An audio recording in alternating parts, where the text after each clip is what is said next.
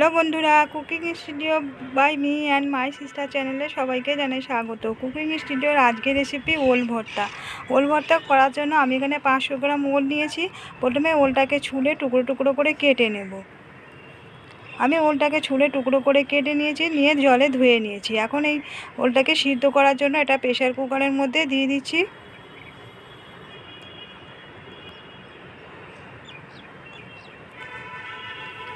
আমি একটু বড় করেই কেটেছি। এখন সবগুলো টুকরো দিয়ে দিলাম। এখন জলের একটু জল দিয়ে দিচ্ছি, সিদ্ধ করার মতো জন্য পরিমাণ মতো জল দিয়ে দিচ্ছি। কড়াইতেও সিদ্ধ করা যায়, কিন্তু সেক্ষেত্রে একটু বেশি সময় লাগে, গ্যাসও পড়ে বেশি। সেই জন্য প্রেশার কুকারে ওলটাকে সিদ্ধ করে নিলে তাড়াতাড়ি সিদ্ধ হয়ে যায়। ওলটা আমার সিদ্ধ করা হয়ে গেছে, এখন জলটাকে ঝরিয়ে একটা থালার মধ্যে ঢেলে নিয়েছি। এখন একটু হাত দিয়ে ম্যাশ করে নিচ্ছি ওলগুলোকে।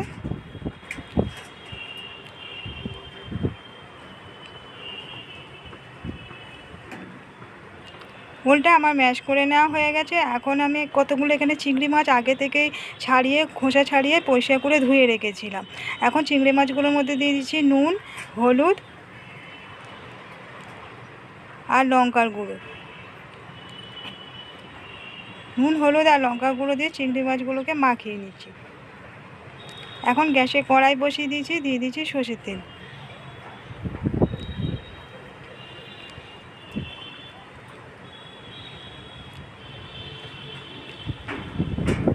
তেলটা গরম হয়ে গেছে, এখন দিয়ে দিচ্ছি এক চামচ কালো জিরে ফোড়ন।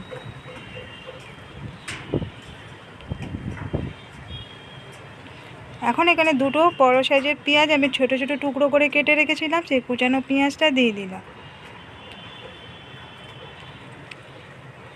কুচানো পেঁয়াজটা দিয়ে একটু ভাজা করে নেব আর দিয়ে দিচ্ছি এখানে কাঁচা লঙ্কা। আমি এখানে ছটা কাঁচা লঙ্কা নিয়েছি, কাঁচা লঙ্কাগুলো একটু চিড়ে দিয়েছি।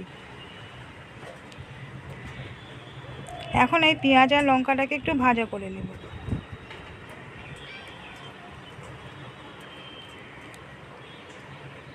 এখন যে চিংড়ি মাছগুলোকে নুন, হলুদ আর লঙ্কার গুঁড়ো মাখিয়ে রেখেছিলাম সেই চিংড়ি মাছগুলো দিয়ে দিলাম।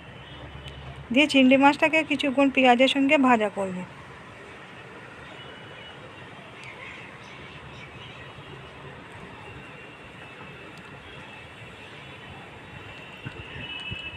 খুব বেশি লাল করার দরকার নেই, এখন একটু পেঁয়াজটা ভাজা হয়ে গেছে। এখন দিয়ে দিচ্ছি নুন এক চামচ। হলুদের গুঁড়ো দিয়ে দিচ্ছি হাফ চামচ।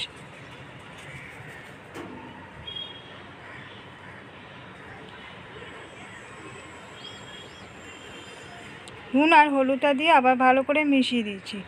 এখন যে ওলগুলো ম্যাশ করে রেখেছিলাম সেই ওলগুলো দিয়ে দিচ্ছি।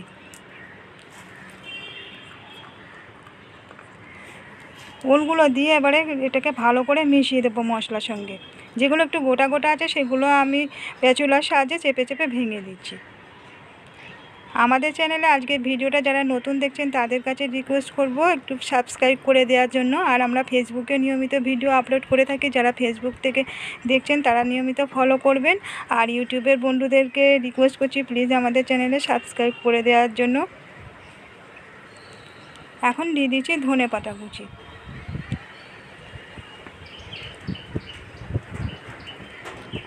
ধনে পাতা কুচিটা দিয়ে আবার ভালো করে নেড়ে চেড়ে মিশিয়ে দিচ্ছি।